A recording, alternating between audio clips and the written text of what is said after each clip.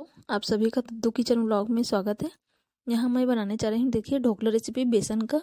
बहुत ही परफेक्ट तरीके से आप आसानी से ढोकला बना सकते हैं। इसके लिए मैंने बर्तन, फिर मैं इसमें डाल रही हूँ बेसन। देखिए, इस तरीके से यहाँ मैंने फॉर्चून का बेसन इस्तेमाल की है तो इसे छानने की ज़रूरत नहीं है। जितने क्वांटिटी में आप बनाना है, उसके हिसाब से आप बेसन लें।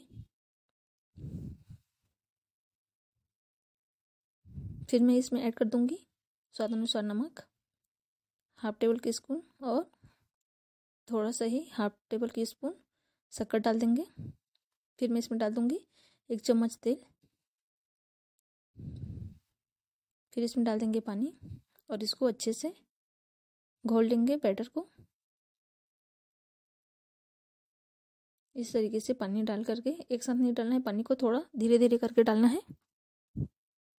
देखिए, इस तरीके से इसको अच्छे से मिक्स कर लेंगे।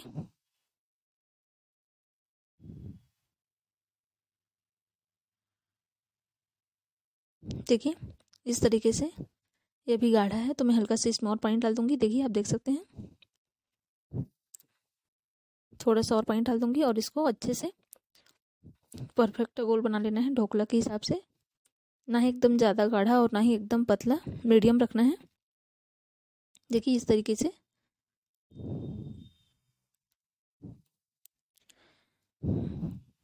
अब मैं इसे दस मिनट के लिए ढक करके रख देंगे।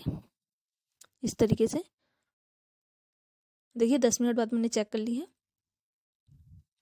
इसमें एक बार चम इस तरीके से और अच्छे से चला देंगे। घोल लेंगे।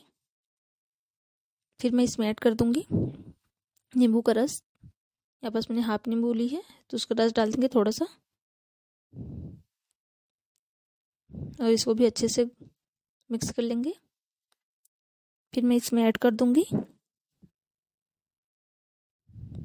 इनो। देखिए, यहाँ पास मैंने एक पैकेट इनो को ऐड कर दे रही हूँ, देखिए। अब इसको भी अच्छे से मिक्स कर लेंगे। देखिए, इस तरीके से जितना हो सके इसको अच्छे से, इस तरीके से फिक्स कर ले।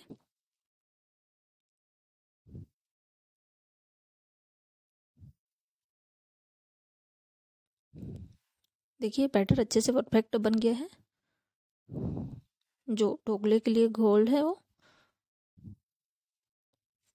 तो यहाँ पर मैंने ली है, देखिए, जो टिफ़िन डब्बा आता है, खाने का टिफ़िन डब्बा, मैं उसमें बना रही हूँ। तो इसमें मैं ऐड कर दूँगी थोड़ा सा तेल और तेल को सभी साइड बर्तन पे अच्छे से लगा देंगे इस तरीके से। साइड साइड किनारों पर भी अच्छे से इसको इस तरीके से सभी साइड अच्छे से लगा देना है तेल। इससे बर्तन में चिपकता नहीं है, ढोकला आसानी से निकल जाता है तो इस तरीके से सभी साइड अच्छे से मैंने तेल को लगा ली है। देखिए, फिर लिए मैंने कढ़ाई और उसमें डाल दिए पानी। अभी मैं पानी की क्वांटिटी को कम डाली हूँ तो इसमें और पानी डालेंगे। यहाँ पास मैं रख दूँगी इसमें स्टैंड देखिए, मैंने इस तरीके से स्टैंड ली हूँ। आप अपने हिसाब से जो भी स्टैंड है, उसको रख सकते हैं। स्टैंड बहुत आसानी से मार्केट में मिल जाता है। बहुत ही सस्ता है। बीस से तीस रुपये में आ जाता है तो आप आसानी से खरीद सकते हैं। देखिए, फिर जो बैटर रेडी किया है, उसको इस तरीके से डाल देंगे बर्तन में, जिसमें मैंने तेल गीस की है। देखिए, इस तरीके से मैं सभी को अच्छे से डाल लेंगे।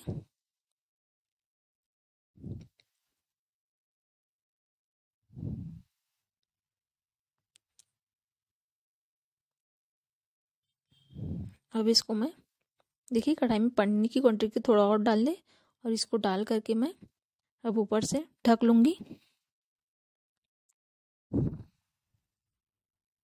फ्लेम को हाई रखेंगे अभी। इस तरीके से मैं जो ढक्कन रहता है ढकनी, उससे क्या है, हल्का सा आइट साइड से भाप जो निकलता है, इसलिए मैं इस तरीके से बर्तन से आप ढक ले, जिससे भाप बाहर बिल्कुल भी ना निकले। अच्छे से कवर हो गया।